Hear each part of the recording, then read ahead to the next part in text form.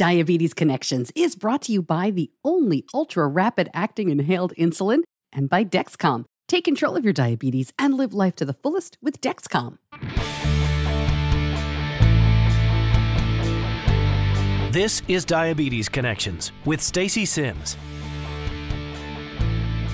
This week, across the country, some kids are already back in school while others will be in class in just a couple of weeks. This can be one of the most stressful times for parents of kids with type 1, and it is okay to admit that. If you approach the situation calm and confidently and not a basket case and calling the school a thousand times, it will be a much better experience for everyone. So I invite all the parents on this call to just take a deep breath and pause and know that you're not alone and this is normal.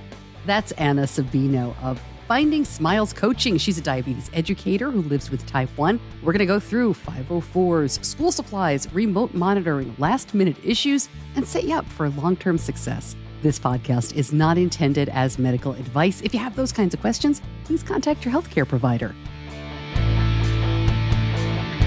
Welcome back to another week of the show. Always so glad to have you here. I'm your host, Stacey Simms, and you know we aim to educate and inspire about diabetes with a focus on people who use insulin. Back to school is kind of different for us these days. If you're new to the show, my son was diagnosed right before he turned two, and he will be 18 soon. So we've had lots of back to schools. And Benny's biggest issue this year, what was most important to him so far, has been whether he'd get a parking spot at school. Our district is really overcrowded. Our high school, our middle school, there were too many kids when they opened these schools. His high school is only 10 years old. This will be its uh, 11th or 12th year. I can't remember, but it's very new. And as soon as they opened the doors, it was already overcrowded. So they do a lottery for the seniors to get parking on campus. Crisis averted. He did get a spot, which means he no longer has to walk a half a mile from his car, which is where he parked last year uh, in a public park. Uh, he got up extra early so he could park on one of the closer spots. So he only had to walk half a mile. This has basically given him an extra 30 to 40 minutes to sleep. So he's very excited. But as far as I'm concerned, I haven't filled out any paperwork yet. Yeah, I mean, gosh, this is such a different situation than it was in years past. Our 504 plan, we will explain more about that during the interview. It holds, so I don't have to worry about that. And our diabetes medical management plan, which is how our district does it, uh, I do have to get that filled out. But at this point, they're not going to kick him out of school for having an insulin pump and a CGM if I haven't dotted every I and crossed every T. But I will get it done. I've, I've got another week as you're listening. Wait, I've got only less than a week because school will start next week for him, but I'll get it done. In elementary school and for many years, I promise I was spot on this and I did a lot of work to educate and you know to make sure it was a very very smooth transition he is so independent now that I forget that, you know, legally I still have to do a bunch of things. So I will be taking care of all of that. I promise, especially if you're new. I promise I'm on top of these things. It's just that, gosh, we've been doing it so long now. You know, you kind of relax, which is not something I ever thought would happen. My guest this week is Anna Sabino. Disclosure, she's a friend of mine. I've known her for many years. And I first spoke to her for the podcast back in 2016 when she was at Glu which became the T1D Exchange. And then she spent a lot of time at the College Diabetes Network. I was thrilled to find out earlier this year that she has started her own company. It is called Finding Smiles Coaching to help families navigate the ages and stages of type 1 diabetes. She has an offer for her coaching. I'm going to put that in the show notes, and we mentioned it at the very end of the interview. But I definitely highly recommend Anna. I go to her with a lot of my own questions, even though Benny is almost an adult. Oh, I can't bring myself to say that. She is a certified diabetes care and education specialist. She has a master's in social work, and she was diagnosed with type 1 herself in kindergarten. I realized as I was putting this episode together that this is episode 504, which is so funny when we're talking about back to school. I honestly did not plan it this way. I did not realize it when I put it on the editorial calendar. I only realized it right before I started voicing the episode. I shouldn't assume that everybody gets that. A 504 plan refers to Section 504 of the Americans with Disabilities Act. And it's a plan that everybody puts together and you sign at school. It makes sure that any child, not just kids with diabetes, any child who has a disability receives accommodations that will ensure their academic success. You give them access to the learning environment, that kind of thing. So, yeah, episode 504. And I will talk to Anna in just a moment. But first, Diabetes Connections is brought to you by Afrezza. Quick biology fact Did you know your lungs have the surface area of a tennis court? That's interesting, right? But why is it important? Well, since Afrezza is a powder you inhale, the insulin is delivered through the large surface area of the lungs, which allows for ultra rapid absorption. The insulin passes through your lungs into your blood in less than a minute. Your blood sugar may start to lower in about 12 minutes. That is glucose management in the moment. Find out more and see if Afrezza is right for you. Go to diabetes-connections.com and click on the Afrezza logo. Afrezza can cause serious side effects, including sudden lung problems and low potassium, and is not for patients with chronic lung disease such as asthma or COPD, or for patients allergic to insulin. Tell your doctor if you've ever smoked, have ever had kidney or liver problems, a history of lung cancer, or if you are pregnant or breastfeeding. Most common side effects are low blood sugar, cough, and sore throat. Severe low blood sugar can be fatal. Do not replace long acting insulin with Afrezza. Afrezza is not for use to treat diabetic ketoacidosis. Please see full prescribing information, including boxed warning, medication guide, and instructions for use on afrezza.com slash safety.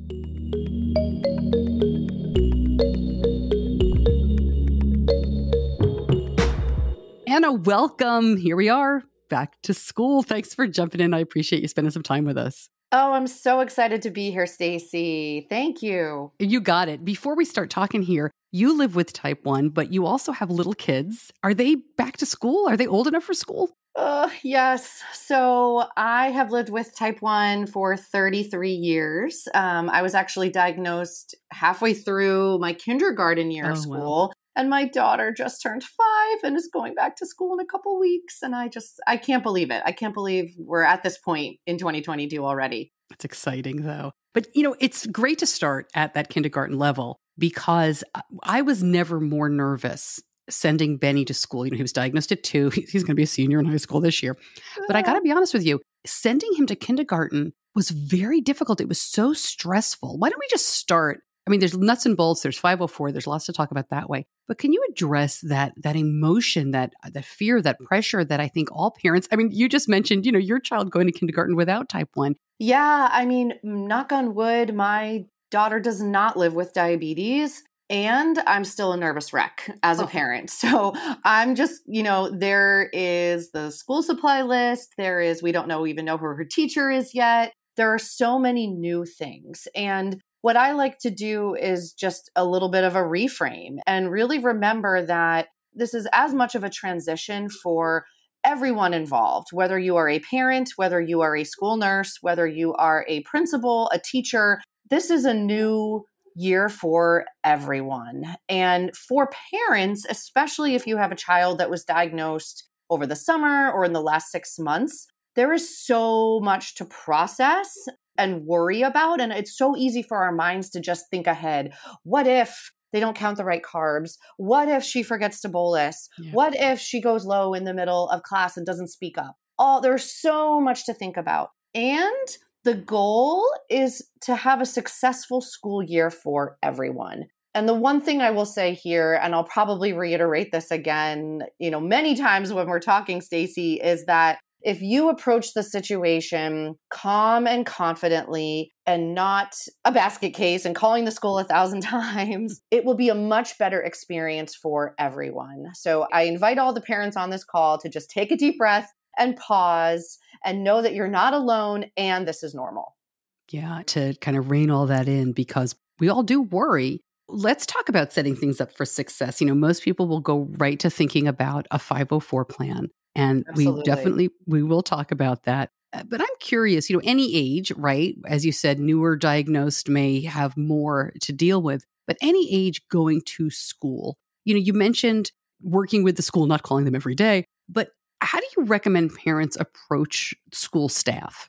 There are, you know, specific steps that you can take. A hundred percent. I would first recommend calling the school. If you haven't already and your child is going back in two weeks, or if you're keeping your kid home for six months or so, I would do as much of your homework, you know, ahead of time. And when you do reach out to the school for the first time, make sure it's with a phone call and not necessarily an email. I think for schools, especially over the summer, they're much more likely to answer the phone, especially a principal's office or a central administration office.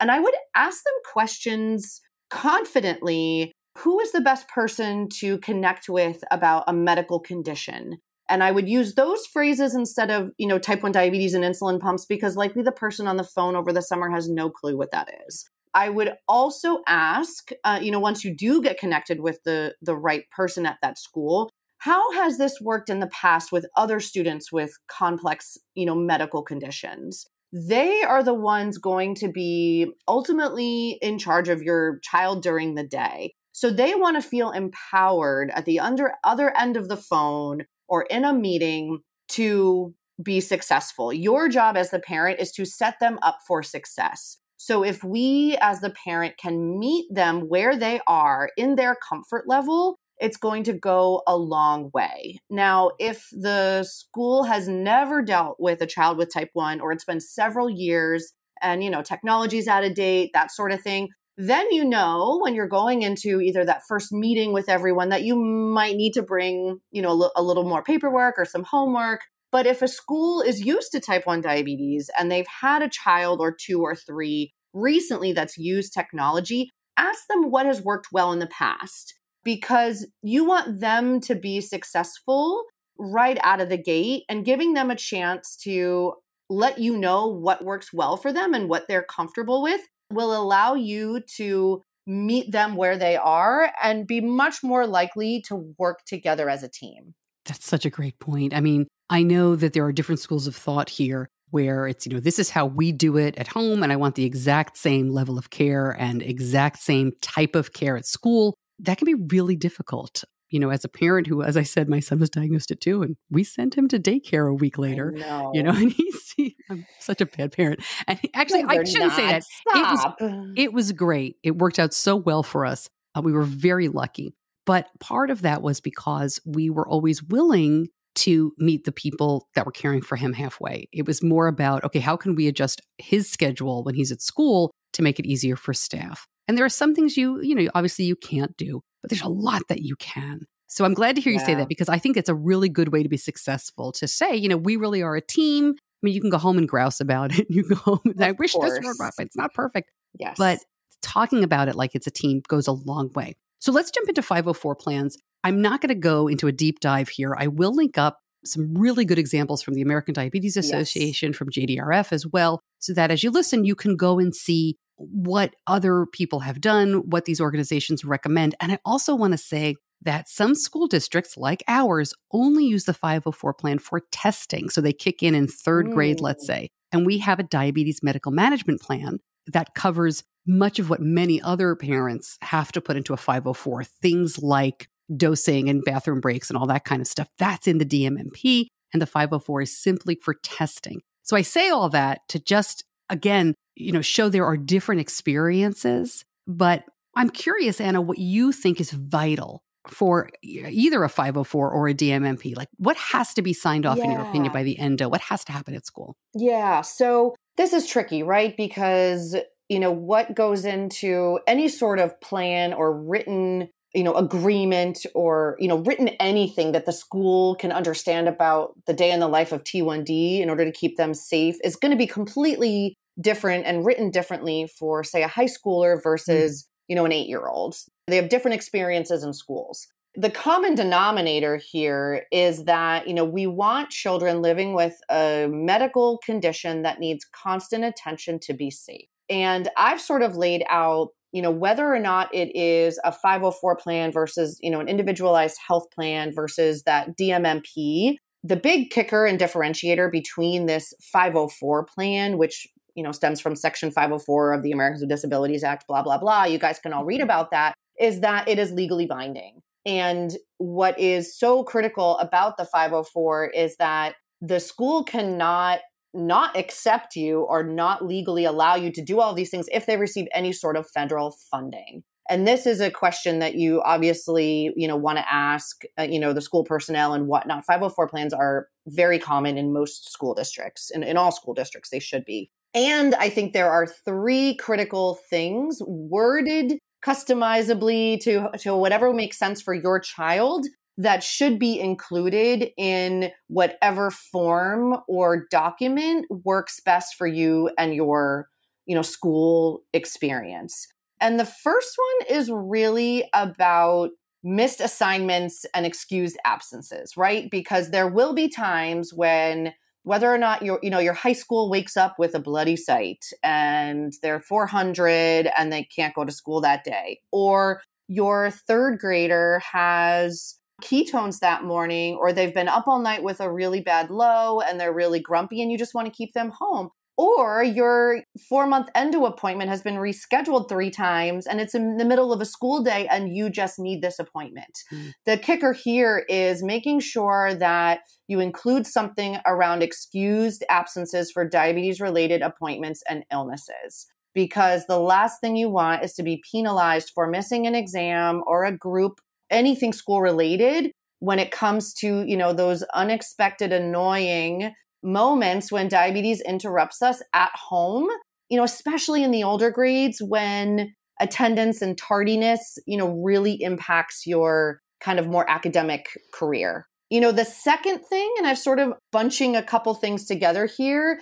is really around the two words immediate access. And this can include access to the bathroom at any time, access to water at any time, and probably the most important, access to any and all diabetes related equipment. And this includes use of cell phones, food and drink, low supplies um, within close proximity. So, you know, if you're a high school student and you carry your backpack around from class to class to class, obviously, you know, making sure that your phone is on you, maybe even an extra charger, you have glucose handy on you at all times. Now, if you're in kindergarten, and you're probably in the same classroom the majority of the day, it's making sure that that one classroom has a designated area or whether it's in the desk or wherever it makes sense for your teacher and classroom that you have access to all of those things. Um, and this may end up being multiple you know written out bullet points um, whether it's you know access to water at all times or you know student will keep cell phone under desk and access when needed you right. know, it can be, there's certain ways you can word it. And if you Google it, you will find it, I promise.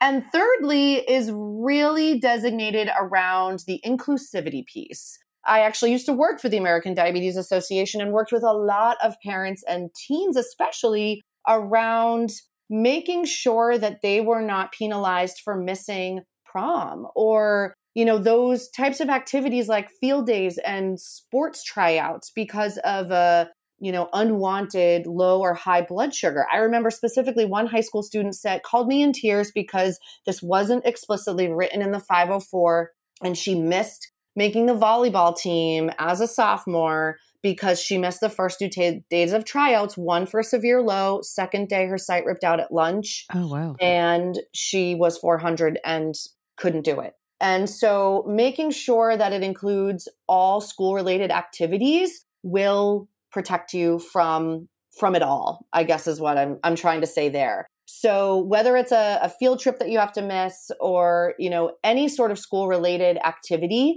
should be written in there in some way shape or form. And this also obviously if you want a school nurse to attend a field trip or a parent to allow access to attend the field trip that's part of that as well. Um, but making sure the inclusivity is there from an equal opportunity standpoint is crucial I have a lot of questions. I'm sure you do.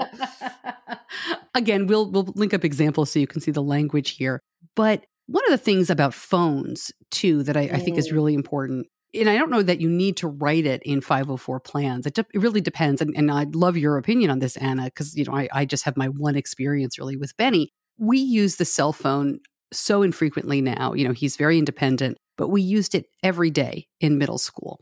Yeah. We didn't use it, and he didn't use it to see his numbers because he uses a tandem and it's right on the pump. So I had no issue with him, just like every other kid in his in his middle school and high school. The policy was they have like a little cubby. So if you have your cell phone, you stick it in the cubby when you walk in the classroom, and then you get it when you leave.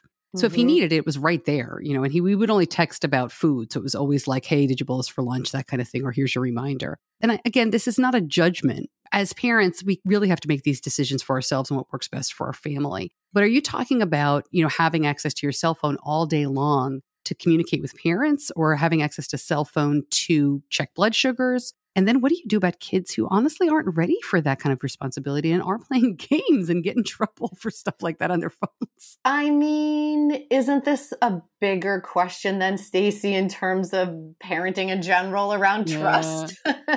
I mean, it's a blessing and a curse that we have this amazing technology constantly giving us data and the opportunity to better understand our kids' diabetes, right? I mean, we all know that diabetes tech is amazing for what it is, but it also can be a real hurdle and a challenge sometimes and not work, frankly.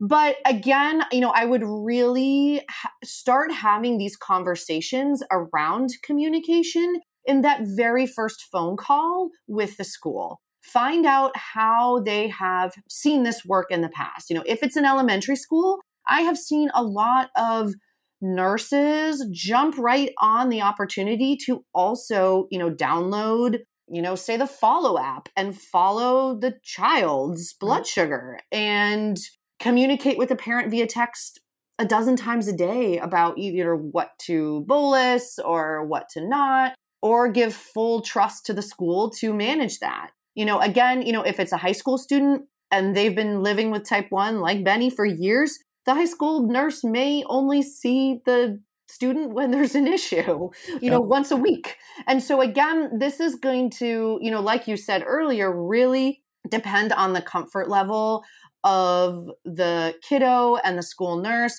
but talking about it up front.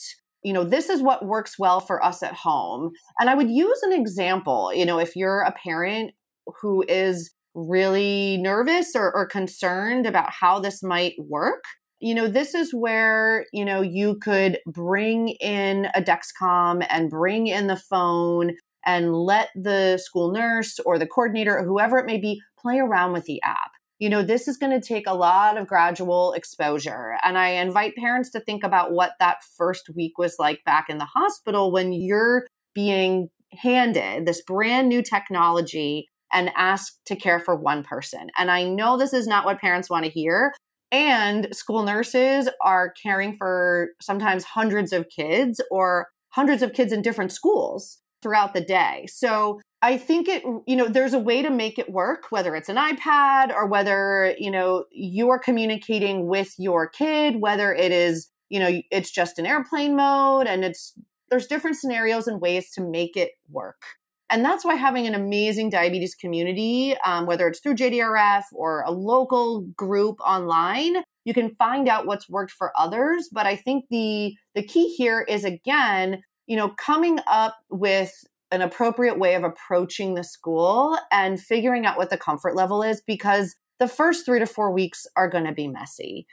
so there there will probably be a mistake made, and everyone is human all of us parents who have a child with type 1 have probably overdosed or given the wrong amount of carb or I don't want to say it, maybe given Humalog instead of Lantus or vice versa. Oh, say it. Um, It happens all the time. Everybody does It that. happens. And so I think we have to remember that school is a transition again for the entire team. For the student, for the school nurse, and it's going to take some time to tweak and figure out how it's going to work. I want to talk about remote monitoring, but I, I also think it's worth mentioning. We were just talking about cell phone use, and I mentioned playing games. You know, you can Mhm. lock down your kid's cell phone. There's ways to Mhm. just make certain apps work. So I think that's you know that's one way to do it. I also think it's worth noting, and my diabetes educator when Benny was younger reminded me about this all the time. So she has adult sons with type one. They were diagnosed as kids, but they're like I, I don't know. I'd say late twenties, early thirties now, and she's always like, we didn't even have a cell phone, you know, for anything. Forget remote monitoring. Like if there was a problem during the day, they had to track me down on a regular phone and everybody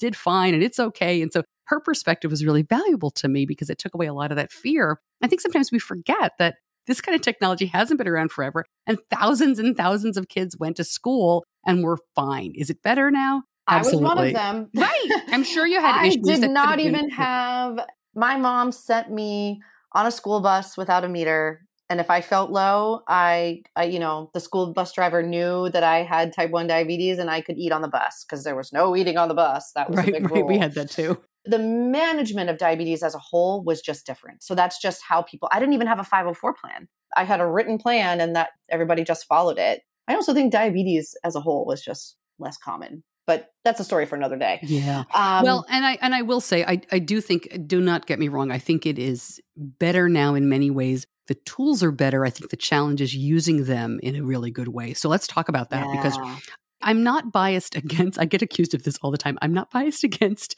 remote monitoring or letting the school follow. It just wasn't our experience. By the time right. Benny had share and follow for Dexcom, he was almost in middle school and he was almost yeah. fully independent. And then we found it was better for me to check in on him than the nurse. And I live in North Carolina, by the way. I should have said this at the beginning, mm. where we don't have full time school nurses until high school. Yeah. So, you know, it's a really different experience than in other parts of the country. And it worked out fine. But what's your advice for parents about not necessarily remote monitoring? Because I think that, that ship has sailed. If you have a Dexcom, you're watching. I mean, I'm seeing Benny's numbers yeah. right now and he's asleep, but you know, you're, you're watching. But what about sharing with the school? Like what to think about before you do that? That's a great question, Stacey. And I think again for parents who I mean, I have type 1, I use you know, full disclosure, I use the the Dexcom CGM and I now that I'm in it and I've been in it for several years, I feel much safer knowing I have this technology attached to me 24 7. I want to give all of you parents, uh, I want you to give yourselves a pat on the back for dealing with the mental load of constantly having this access to this data because it can be a lot. And so I would really encourage you to take a pen and paper and really think about why you use this technology. And is it to prevent low blood sugars and prevent high blood sugars? Yes. Is it to monitor the trends and the patterns so you can make adjustments as needed? Yes. But I would think about, I would really think about your target range and safety here. And and I think the, you know, the goal again for everyone is for them to have a a safe and fun experience at school because the last thing you want is you know one arrow up at 150 to prompt a call from the nurse and prompt a call home and i think there there's something to be said for you know if there's an emergent situation and a child comes to the nurse and says I don't feel good, and you've got double arrows up and they're 350, then obviously some sort of intervention needs to happen. But I would be cautious to set, you know, too close targets when it's going to, at the end of the day, impact the child and the entire school experience and take away from that um, and, and keep all of that in mind as you're going into it.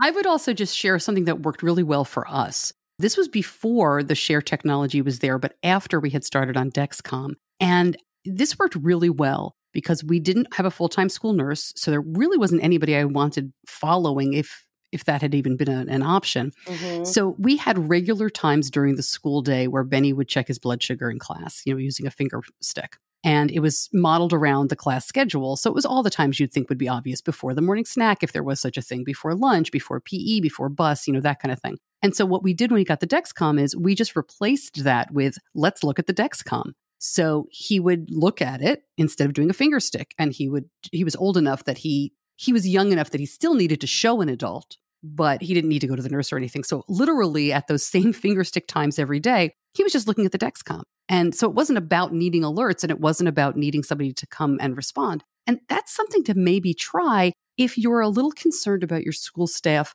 overreacting to remote monitoring, mm. because I've seen that happen a lot. People yes. share with their school staff, and then suddenly their second grader is pulled from class yes. every 45 minutes because of these alerts and alarms that making people nervous. And just a little tip, it's much harder to take it back because then you have to have an uncomfortable conversation. So you can just say, "Hey, we just got this technology. We're going to try it this way and then we can reevaluate as we go." And Absolutely. even if there's other students in the school, but you know, one of the things I always talk about too is everybody manages diabetes differently. Some schools understand this. Some schools want everybody to do it the same way. And you, you really kind of have to say sometimes, we found this worked really well for us. And if you really need to, you can pull out, you know, our doctor says, because I got pushback for a long time about not sharing his numbers with school staff yes. and about not having him check in. And so you kind of have to make your own way sometimes on this. So don't be afraid to do that. So I'm glad to hear you say that. And I think that's really good advice. Yeah. And the other thing that I would do,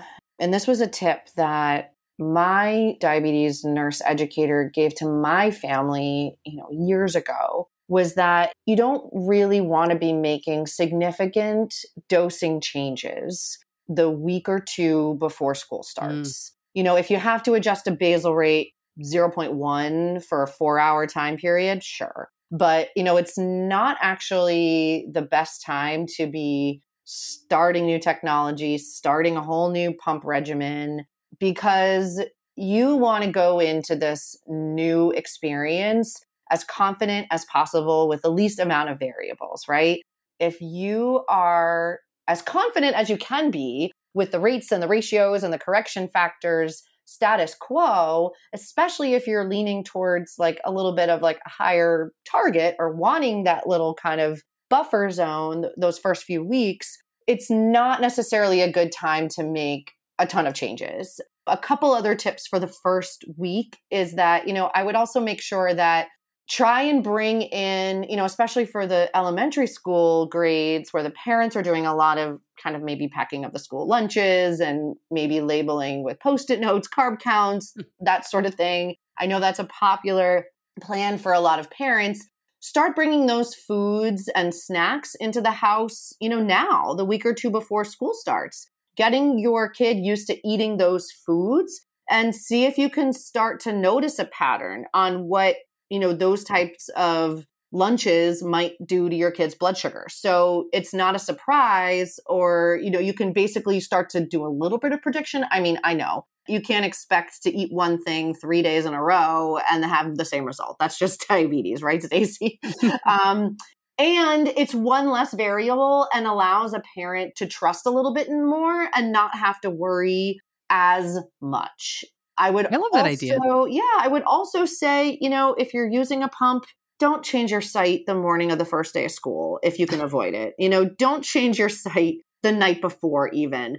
Get a good site in, say 24 hours before and make sure that you're getting the insulin you need and that there's a lot of extra stuff heading into school. Okay, let's talk about that. That's the, was one of my questions. Okay. I, I want to talk. I want to talk about independence, yeah, in different stages. But let's talk about bringing stuff to school and supplies and that kind of thing. Different schools have different policies on this. We always left a bunch of stuff at school. Even in elementary school, when I would probably go to do a site change if the nurse wasn't there that day, I left everything at school. And then Benny had a little bag that he would carry back and forth with a few supplies in it as well. Any thoughts on that? That sounds pretty common to me. I mean, I again, it depends on, you know, the age and, and the exact school. You know, there are some high schools that are that have a campus almost that yeah, have like, you know multiple buildings where it could be a 10 minute walk to get to the the nearest nurse's office. So you're going to want to have an extra site in your backpack and glucose tabs and a charger. God forbid your dash or your pump or your phone like needs to be charged in order to get access to data. That's more of the the high school piece. And I think regardless there should be a backup home base for you know almost like I you know I work very closely with a lot of young adults and college students. You know, you want to have that sick day kit. You want to have that kind of emergency stash and it's about you know expecting the unexpected but being prepared always yeah. having regardless if you're on you know multiple daily injections or uh, using an insulin pump you want to have a backup way of knowing your blood sugar of receiving insulin and making sure that all devices are able to do what you want them to do so that means always having a glucagon and that it's not expired but you know a vial of insulin or pens and syringes extra sites extra pump sites and, and a meter and strips and and lancets. And the other thing and and this is what i've learned from a couple of recent families that i've seen is actually an extra set of clothes. A mom told me this trick for my incoming kindergartner. She's fully potty trained but there's something about nerves and that first week of school. The last thing you want is to not have extra clothes. And this yeah. is sort of a maybe a non-diabetes related thing, but this has happened to me in high school and I was not on a pump. I gave an injection at lunch in the nurse's office and it was a gusher.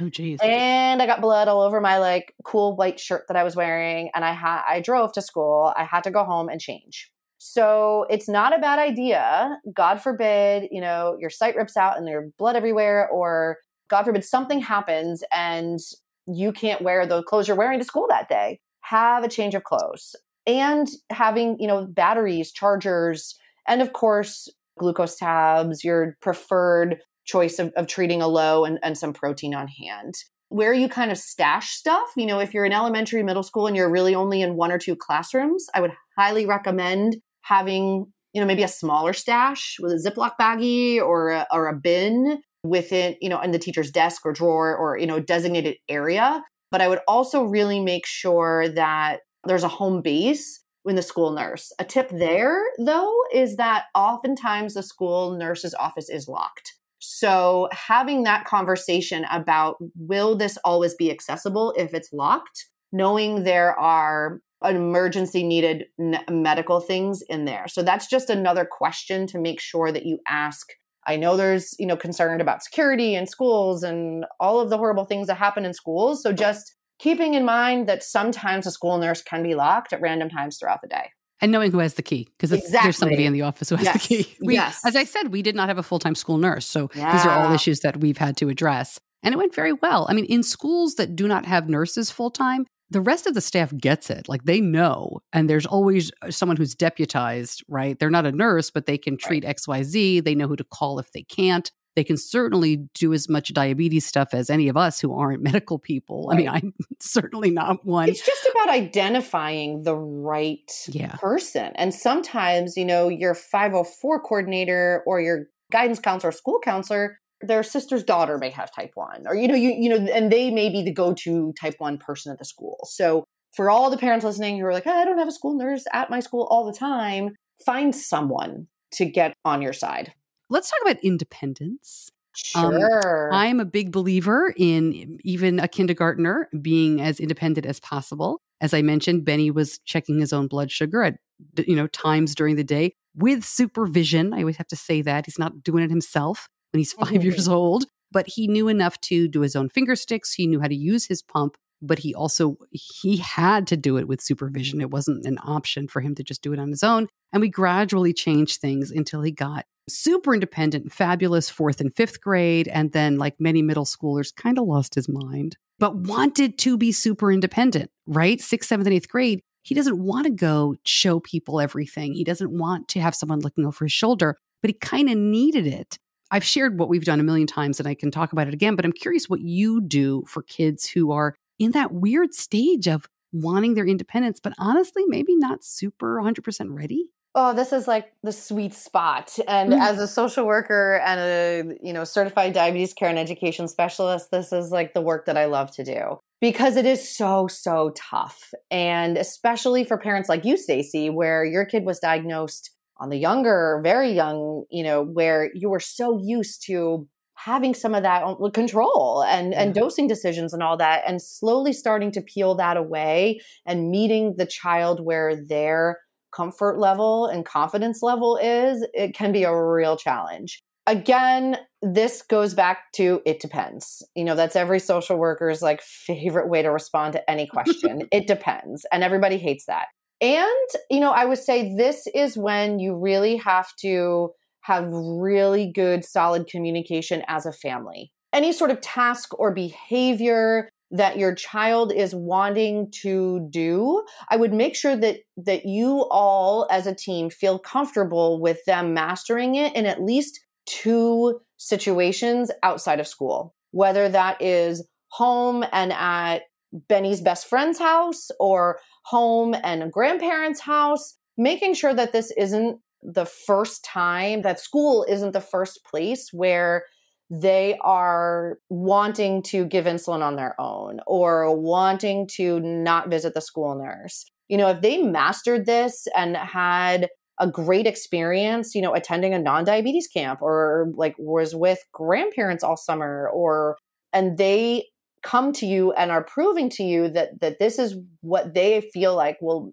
make them be a better student, then make sure that that is talked about with the school nurse or you know the asthma coordinator just kidding the, the diabetes coordinator you know whoever whoever it is. And that that can, level of communication and task of dosing or, you know, not necessarily visiting the school nurse is included in the plan because we all know that when when something like when the child decides to do something and another adult isn't notified that's when things can start to go south. So I, my advice here would just be make sure you prepare in advance. And if you don't think you're ready again have the same type of conversation where you know what?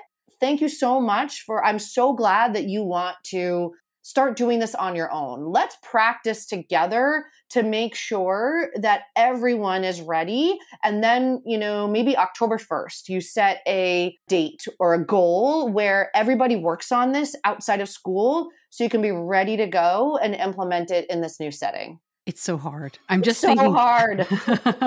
I'm going back to to middle school, and, and Benny and I have been very open about this. He would not mind me sharing middle school was very difficult for diabetes management because he forgot the a lot. Worst. Isn't it the worst? The worst. And so my advice would be, and it's hard when you're in it, you know, now that I'm beyond it and I can kind of see, I, I do think that letting him be more independent in middle school, even though he was out of range more than I would have liked, he forgot to bolus more than I would have liked, it actually paid off mm. down the line in knowing that he knew that he wouldn't get in trouble. He knew that he could trust us. He knew that he wanted to feel better right? And it was so hard at the time and I was so frustrated. And now, I mean, most of, not everybody in the diabetes community has this, obviously, but many of you, as you listen, you know, we have these AID systems, we have hybrid closed loop systems. It, you know, we didn't have that in middle school. And it makes a huge difference. It doesn't mean your kid's going to be in perfect range, but it, someone explained it to me recently. Maybe it was you, Anna, about having like, you know, the bumpers like you have in bowling Yes. You know, these AID systems give you those bumpers so your kid may like bonk around the sides, but generally speaking, they're going to be really safe. And I'm so thrilled because I think that gives these middle schoolers, when their brains have just left their bodies, we have to just give them empathy and grace. And it's so hard when you're in it. I mean, it's I was so not, yes, Benny, in it. I mean, not say I, I gave him grace. if if my mom knew what my blood sugars were in middle school, I don't know and that's my omnipod beeping. I apologize in the background. Oh that's um, so funny. I don't think i heard it. But I, I do think to, to your point when you talk about like our goal is october 1st i think it's important and i know you mean this but let's be yes. obvious about it. I think it's important to talk about well the goal here isn't perfect blood sugar management. It isn't 100% Absolutely time and range right? not. No. The goal is keeping everyone on the same page to prevent you know these adverse outcomes. Of course we want to prevent major high blood sugars and you know DKA and very severe lows, but it's it's talking about what to do in the meantime. And at the end of the day, we want kids, you know, giving insulin is a non-negotiable. And like you said to the AID point, whether it's, you know, a control IQ or a Medtronic or now the Omnipod 5, knowing that they're able to be in school and live a healthy life with diabetes. And that is amazing that we have these systems to do that. Yeah. And it's letting the kids be kids. I'm going to say this even though I'm reluctant to say it, especially the first few weeks. It's about building good habits.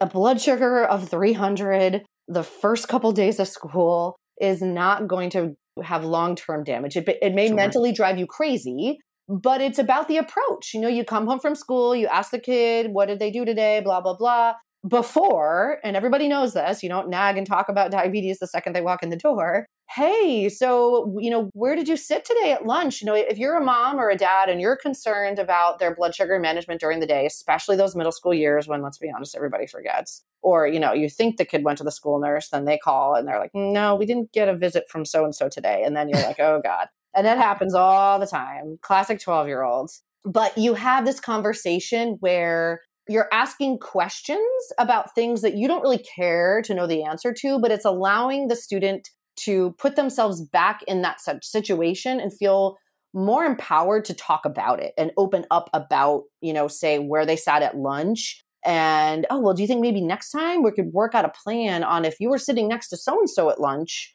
we can come up with a better way to bolus or why do you think maybe our blood sugar is going to 300 and let's solve this problem together because we nobody wants a blood sugar of 300. The kid doesn't feel good. It doesn't sit well with anybody. And I think those first few weeks, like you said, Stacey, we have to give ourselves grace and it's all about building better habits. And whether you attach a date to a goal of some sort of independent task or behavior is one thing. I just threw that out there because I'm a big smart goal person. And if Yeah. you're setting goals together as whether it's a, a patient family goal setting or it's a parent child nurse, you know, goal setting, if everybody's on the same page, everyone's going to feel really satisfied when that goal is attained.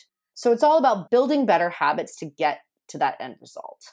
I like the idea too, and we did this a lot of if if the school was doing something that I wasn't crazy about, I would say, "Hey, let's revisit this on like you said, October 1st. Yeah. This is okay for now, but I think we can do better or I think that this would be better for my child, so let's do it on such and such a date." You know, and, and kind of revisit it. I think it makes Um, a lot of sense. Yeah. there are so many resources out there and i think you know a lot of people think that they're the only family going through this you know it's Mm. it's like when you bring a newborn home from the hospital and you're in it and you're up at 2 a.m when you're home from diabetes diagnosis and you're like again am i the only one up at 3 a.m staring at a at a dexcom and wondering you know how many more glucose tabs i shove into this kid's mouth it's the same type of thing you are not alone and there are so many resources online and offline for support out there. And I just opened my own practice and have a pretty cool special going on, which is going to allow parents and families to have additional one on one support. It's called 30 for 30. So for 30 minutes, for $30, you can have one on one support, work with me, review your 504 plan, help design a 504 plan or any oh, sort Oh, of great. back to school plan, whether it's talking about sports, whether it's talking about independence with your teenager, whether you're talking about sibling struggles or just mental health in general for mom or dad about this transition back to school because it is a lot. So I just want people to know that that that exists and it's a special going on through the end of September. Very cool. Well, Anna, thank you so much. It's always fabulous to I talk with you. Love talking with you, Stacey, and it, it- you've been there. You've been Ugh. through this. So I hope that parents can get over this little like mini mini roller coaster hump of of this back to school time because it's it's fun, it's exciting, and I think you know at the end of the day, a kid is a kid um, who just happens to live with with type one.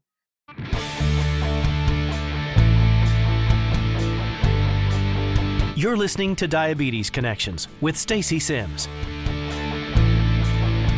More information about school and 504 plans and Anna's special offer. I will link all of that up at diabetes-connections.com. Every episode has its own homepage. And uh, again, examples of 504 plans and all of the resources. There's so many from JDRF and ADA. Uh, if you need that, I will put those in the show notes as well. So you kind of have them all in one place. We've done a lot of back to school episodes over the year, almost every August for sure. Over the last, gosh, this would be like eight years now. So you can go to the website and use the search box. We got a great search engine. Just put back to school or 504, and lots of episodes will pop up. Back to school can also mean that mom wants a little bit of time for herself. I will be talking about how to get that. Even with the kids in school, we struggle with that, don't we? But first, Diabetes Connections is brought to you by Dexcom. And I get a lot of questions about Dexcom coverage for people on Medicare. And why not? It's not as though you stop needing a CGM the minute you turn 65. The good news is that the Dexcom G6 continuous glucose monitoring system is covered for Medicare for patients who meet the coverage criteria. If you have type 1 or type 2 diabetes and intensively manage insulin, you may be covered. To find out more about what that means and if you qualify, check out dexcom.com slash g six dash Medicare. I'm going to link that up in this episode. You don't have to remember the full link there. You're going to want to talk to your doctor, and you may even be able to get your Dexcom supplies at the pharmacy, saving time and money. Learn more at, again, dexcom.com slash G6-Medicare. Have you heard about my mom's night out? I am so excited about this. I have created an event. This is a brand new standalone event. It is Diabetes Connections presents Mom's Night Out, and it's happening in January in Charlotte, here in North Carolina, where I live. But it's an overnight event. So if you live within driving distance, even if it's a couple of hours, grab a couple of friends and plan on coming. This is a conference for moms of kids with diabetes. If you go to diabetes-connections.com, click on events, you will see it there. A lot of you have already signed up to save the date and get the emails on this, and I appreciate it so much. This week, we should have, it might already be up already, we should have the ticketing page ready to go. You can see more about what's going to happen. You can see more about what you get, the registration and the hotel, the group room block, the discounted rate will all be opening. It's going to be a blast. I'll be sharing more information about what sponsors have signed up, who's going to be there. You know, the idea here is that you get a big tech fair, you get to see and touch all the diabetes technology that the kids use. You get to ask your questions in an environment where your kids aren't nudging you, right?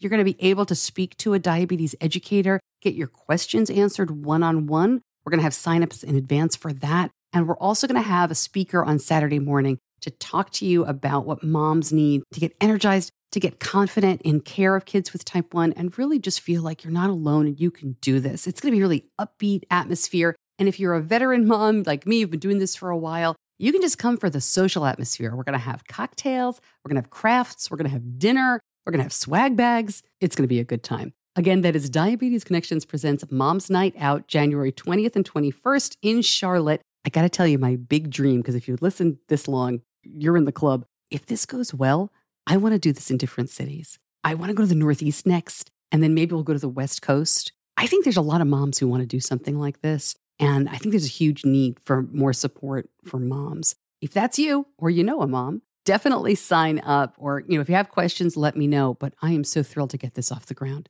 All right, we will have a newscast this week. We've got lots more good stuff to come. Thank you for your questions about Benny, the interview with him about summer camp, eight weeks away from home with no remote monitoring, totally independent. Oh my goodness, we'll be talking about that coming up shortly. Thank you to my editor, John Buchanan from Audio Editing Solutions. Thank you so much for listening. I'm Stacey Simms. I'll see you back here soon. Until then, be kind to yourself.